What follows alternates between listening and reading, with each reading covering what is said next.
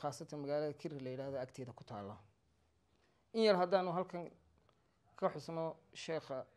taariikh nololeedkiisii sheekh axmed khaliif bin sheekh moxamed rabiicudiin radia allaahu canhuma wa ardaah wuxuu cumrigiisu ahaa sheekhu sideed iyo lixdan jir. Wuxuu ku dhashay qubateynka oo degmada caynabo ka tirsan sanadku markuu ahaa kun sagaal boqol lix iyo kontonkii wuxuu cumrigiisu ahaa sheekha sideed iyo lixdan awlaad wuxuu kaga tegay saddex iyo toban wiil iyo afar iyo toban gabdhood. Warahada sheekha ka farcantay waxay dhan yihiin ilaa shan iyo siddeetan wixii kor u dhaafaa sheekhu wuxuu ahaa mas'uulka u sarreeya ee dariiqada timoweynta ama dariiqada qaadiriya. Bismi illaahi araxmaani araxiim alxamdu lilaahi rabbi alcaalamiin salaatu wasalaamu calaa ashrafi alambiyaai walmursaliin wa shafiicina muxamedin wacalaa aalihi wasaxbihi wasalim amaa bacdu inaa lilaahi wa inaa ilayhi raajicuun kulu nafsin daa'iqat lmowt waxaan halkan tacsi u marinayaa ummadda dhammaan ummadda islaamka meel kastoo ay joogaan ummadda soomaaliyeed khaasatan xerta dariiqada qaadiriya ee xerta sheekh maxamed rabiicuddiin caawa oo taariikhdu ay ku beegan tahay shan iyo tobanka ramadaan kun afar boqol shan iyo afartanka hijiriyada habeen salaaso ah waxaa geeriyooday sheekhii weynaa caalimka ahaa al-sheekh alfaadil asheekh axmed khaliif bin sheekh axmed bin sheekh moxamed rabiicudiin radia allahu canhu wa ardaah. Wuxuu ahaa sheekhii rabiciyada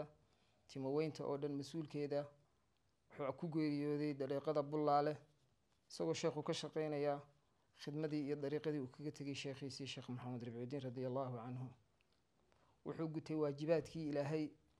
u xirsaaray oo ah diintiisii isagoo ka shaqeynaya wuxuu caawa ku shahiiday isagoo dariiqadii iyo diintii ka shaqeynaya dariiqada bullaale. Sheekha waxaa lagu aasi doonaa qudbateynka oo ka tirsan degmada caynaba khaasatan magaalada kiri la yidhahdo agteeda ku taala in yar haddaanu halkan ka xusno sheekha taariikh nololeedkiisii sheekh axmed khaliif bin sheekh moxamed rabiicudiin radia allaahu canhuma wa ardaah wuxuu cumrigiisu ahaa sheekhu sideed iyo lixdan jir. Wuxuu ku dhashay qubateynka oo degmada caynabo ka tirsan sanadku markuu ahaa kun sagaal boqol lix iyo kontonkii wuxuu cumrigiisu ahaa sheekha sideed iyo lixdan awlaad wuxuu kaga tegay saddex iyo toban wiil iyo afar iyo toban gabdhood. Warahada sheekha ka farcantay waxay dhan yihiin ilaa shan iyo siddeetan wixii kor u dhaafaa sheekhu wuxuu ahaa mas'uulka u sarreeya ee dariiqada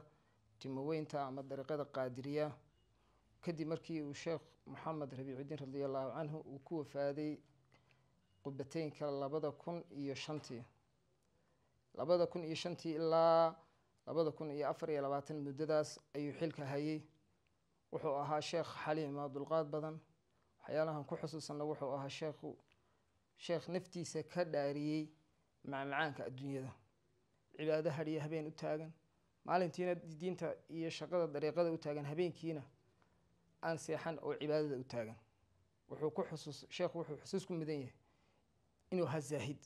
caabid inuu ahaa caalim inuu ahaa inuu ahaa sheekh aada iyo aada u dulqaad badan oo xilmi badan ummadda intaa la eg ee culimmada ah isku xidhayey isku wadayey ilaahay ha ka jeeseeyo waxaan ummadda islaamka u sheegayaa dhammaantood in aas ku dhici doono qubbateynka oo ah degmada caynabo ka tirsan. Inaa lilaahi wa inaa ilayhi raajicuun. Sheekha waxaanu ilaahay uga baryeynaa in ilaahay u siyaadiyo naxariistiisii janno maqaamaad sarena ilaahay gaarhsiiyo kuwii mustafahooda la xidhiidhana ilaahay ka dhigo jannadii firdowsana ilaahay geeyo su'aasha iyo qabrigana ilaahay u dhib yareeyo. Inaa lilaahi wa inaa ilayhi raajicuun. Saa walaalkeen cabdillahi sheekh cabdiraxmaan inoo sheegay waxaa geeriyooday galabta oo ay taariikhdu ahayd kun afar boqol iyo shan iyo afartan hijiriyada rasuulka caleyhi salaatu wasalaam rabadaanna ay ahayd shan iyo toban. Sheekh axmed khaliif sheekh maxamed rabiicuddiin oo ku geeriyooday dariiqada bullaale ama xarunta xerta ee halkaa isagoo ka wada shaqo diimeed oo masaajidada ka dhisayey oo madaaris ka dhisayey oo haddii aan la idhaaho khudbadii sheekh maxamed ka dhisayey shaqo diimeed iyo halkaa waqtiga ku helay inaa lilah wa inaa ilayhi raajicuun taariikhdiisii iyo haddii la dhalashadiisii iyo awlaadiisii iyo ashqaashii oo halkaa ku saabsanaydna waxaa inoo dhammaystiray cabdillahi sheekh cabdiraxmaan waxba midh la yidhaah laguma noqdo markaa walaalayaal waxaynu ummadda islaamka ah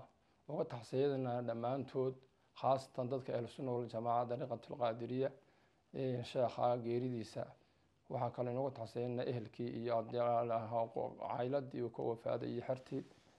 Ilaahay raalli ha kaada isagana subxaanahu watacaala ilaahay wala khayr qabiy bedel khayr qabana halkiisii ha soo dhigo. Qof walba wuu dhiman doonaa kuli nafsi daa'iqatu lmowt wainamaa tuwafawna ujuurakum faman zuxziha can naari wadkhula aljanna faqad faaza wama alxayaatu dunya ilaa mataaca lguruur markaa walaaliya intaasi baan aniguna ku ekaynaya ilaahay ha u naxariisto sheekha dadka islaamka iyo xerta iyo axbaabta iyo ahlusunna waljamaca dhammaantoodna waxaan leeyahay qur'aanka haloo soo aqriyo haloo soo duceeyo in ilaahay raalli ka noqdo oo haddii rasuulkiisii maxamed ahaa shafaacadiisa uu ku geliyo oo ilaahay subxaanahu watacaala uu ka raalli noqdo. Ilaahay ha loo soo baryo. Sidaas baan aniguna ku koobaya wabillahi towfiiq wasalaamu calaykum waraxmat ullahi tacaala wabarakaatu